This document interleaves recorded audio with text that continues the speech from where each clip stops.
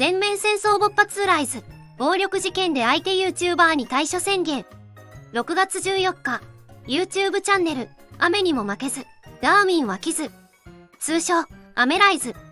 が更新され、メンバーのソータが、K さんと太郎の K さんから暴行を受けたことが報告されました。事件はプライベートでの飲み会で発生し、K さんがソータを激しく殴り、救急搬送される事態に。元田は動画で K さんを批判し、徹底対決を宣言。視聴者からは応援の声が寄せられています。K さんは X で謝罪コメントを発表しました。ニュースのリクエスト募集中です。取り上げてほしいニュースをコメントで教えてください。みんなの反応としては、K さんの暴力行為に対する非難と、誠意ある対応を求める声が多いです。少数意見としては、冷静な解決を望む声もあります。みんなの反応。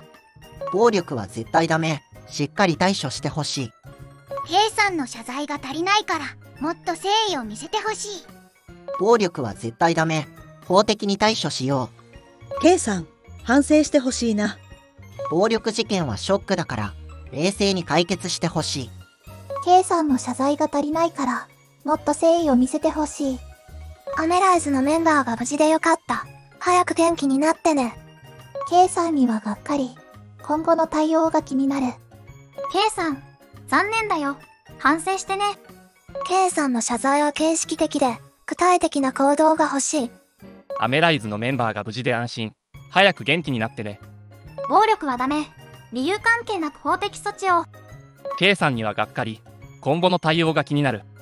K さんの行動は残念。今後に期待。暴力事件はショックだから、冷静に解決してほしい。暴力事件は深刻だから、みんな冷静に対処してね。暴力はダメ。しっかり対処してほしい。K さんの行動は許せない。厳しく処分してほしい。アメライズの勇気に感謝。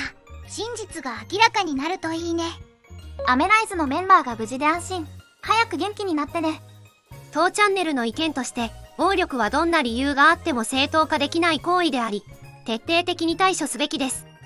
K さんにはもっと誠意を持って謝罪し、法的措置を含めた適切な対応を求めます。